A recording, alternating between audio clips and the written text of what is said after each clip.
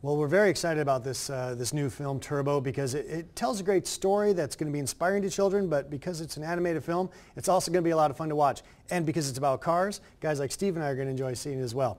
Theory is that uh, you've got a snail who's dreaming big dreams. He actually wants to race in the Indy 500.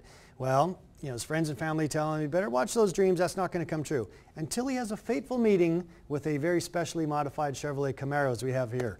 And uh, that allows those dreams to, uh, well, you got to see the film to, to know how the Indy 500 is uh, introduced, but it's a lot of fun and we think it's going to be one of the big uh, exciting films for children this, this summertime.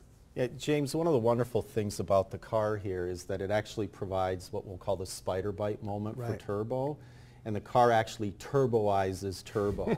and uh, as he comes out through the exhaust system, he realizes that something has changed within him. And then so there's a lot of humorous little things that happen to Turbo along the way. He ends up um, connecting with a bunch of snail uh, buddies of his that uh, also like to go fast, but they don't quite have the same power that Turbo has. And he ultimately makes his uh, journey to the Indy 500 and uh, the uh, I won't give away the end of the film, but it's it's a lot of fun. So. We'll talk later off camera. Okay, you bet. And I think one thing that's exciting is uh, you know because this is a Chevrolet promotion, we have an actual vehicle associated with this film.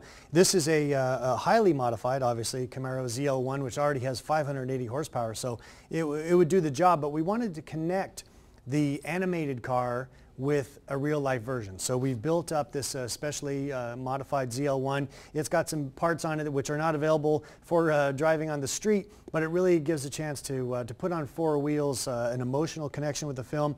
It makes a car that kids will look at and think that is just the coolest car I've ever seen. I want the Hot Wheels like that car as well as for the dads to say, hmm, a Camaro might be a nice uh, addition to my driveway, uh, make some little changes to as well. So we think it's a, it's a great uh, vehicle, if you will, to, to help uh, promote Chevrolet within this new film. Yeah, and James, one of the great things right now with the car is that it's actually traveling uh, right. through the IRL racing circuit. Mm -hmm. um, it's been at uh, various auto shows.